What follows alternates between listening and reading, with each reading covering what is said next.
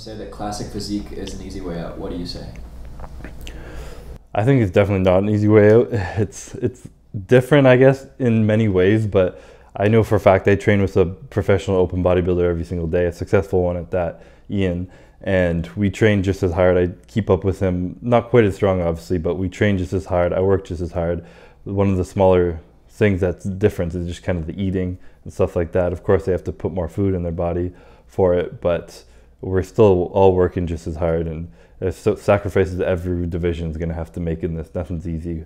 If you don't give it 100%, then you won't be successful. Uh, what goes into preparing for a show? that's, a long, that's a long answer.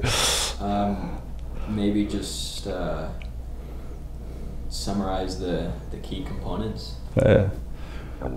So getting ready for a show is more than just like a 12 week prep or whatever people do. The big thing that separates everybody is understanding that it's a 365 day preparation for every single show. You got to be ready in your off season, your diet, your training, everything has to be as on point as it does when you're getting ready for the show. So most people will have their 12 week prep and they just kind of slack off all year and then their show comes and they're motivated and then they work really hard for that. And those are the people you see that kind of look the same every year and don't succeed because they're not putting in the time when they need to in their off season.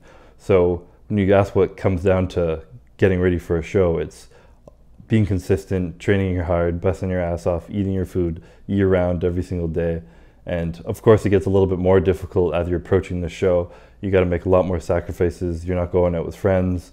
You're not you're missing out on family dinners. You don't even want to go to movies because you can't get popcorn. There's a lot of things you don't want to do. You don't even want to leave your house sometimes because you get too tired. So it can be a lot of sacrifices what is your typical day like during prep my typical day during prep changes quite a bit as my prep goes along i usually start off and as soon as my calories get cut i'm my energy is still pretty high at the beginning of prep and my calories are cut and I'm starving all the time, so I'm always trying to keep busy. I'll be going to the grocery store multiple times a day, trying to go shopping, hang out with friends, just do whatever I can to keep myself busy. And then you notice as a slow decline in my energy kind of comes along, I slowly start doing less and less in the day. I try and sleep more, I nap more, stuff like that. Instead of going out to the mall to kill time, I'm trying to have a nap to kill time. And basically, it's wake up, cardio, breakfast, make food, get to the gym, make some more food, eat, probably go back for cardio around two, and then get to bed.